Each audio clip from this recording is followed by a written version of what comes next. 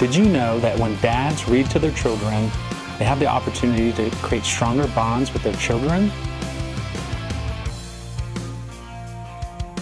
When fathers read, they have a positive impact on their children.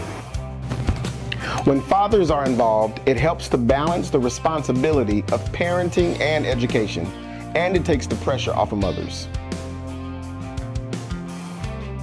When fathers read, studies show that children are more likely to earn higher grades and perform better on standardized tests. Khi có tham gia của người cha, trẻ em sẽ động lực đi học đều đặn và tham gia các hoạt động ngoại khóa nhiều hơn.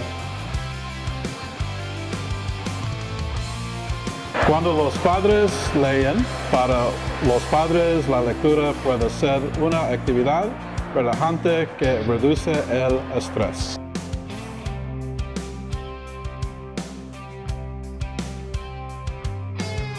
When fathers read, children have an increased self-esteem.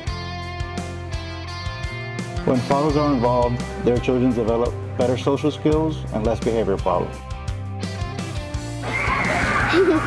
when fathers read, children develop stronger language skills.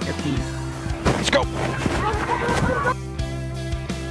When fathers read, children see their dad's love for reading and are more likely to develop a love for books themselves.